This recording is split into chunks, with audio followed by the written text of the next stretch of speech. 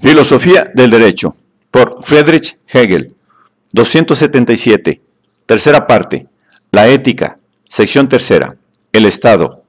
A. Derecho político interno. 1. La Constitución interna por sí. Inciso A. El poder del soberano. 275. El poder del soberano encierra en sí los tres momentos de la totalidad. La universalidad de la Constitución y de las leyes, la deliberación como relación de lo particular con lo universal y el momento de la decisión final como autodeterminación, a la cual retorna todo momento y de la cual se toma la iniciación de la realidad. Este absoluto autodeterminarse constituye el principio distintivo del poder del soberano como tal, que se debe desarrollar como preferente.